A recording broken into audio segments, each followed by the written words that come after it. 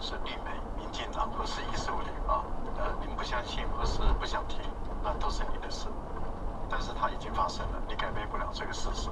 这个事实就是很多的领域，刚刚您所列举列举出来的领域，这是欧美啊，还有德国等所有的国家，他们所分析出来的领域，中国大陆确实已经不但赶上，很多领域已经领先了，像量子、卫星，这个确实都已经领先了。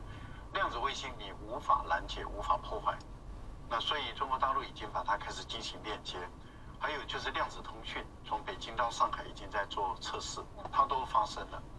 那当它发生了以后，它就改变了现状了。美国在这个部分里面的压力很大。美国现在采用的就是想用晶片的卡脖子的方法的方法，可他发现它的效果越来越差。那很多的的分析家都告诉你说效果并不大。啊，那对于美国人来讲，他已经是没有办法中的办法在做。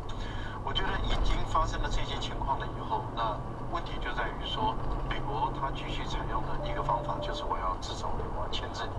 但是当它的效果越来越差的时候，中国大陆的科技能力就越来越强大，而且它的自主的知识产权的份额会越来越大。本来应该是这两个科技大国应该是要共同合作，但是很明显的他们没有共同合作。是美国把自己的路封掉了。您提到的有关于华为的，因为我用的就是华为，哦，而且确实很好用。那当它的鸿蒙问世的时候，因为鸿蒙他们早就在做了，他们只是说你有我就不需要发表。可是当你逼得我没有办法的时候，我就把这个 operation 就是操作的软体，我就把它放出来。它事实上，我们很明显的发现它一直在进步。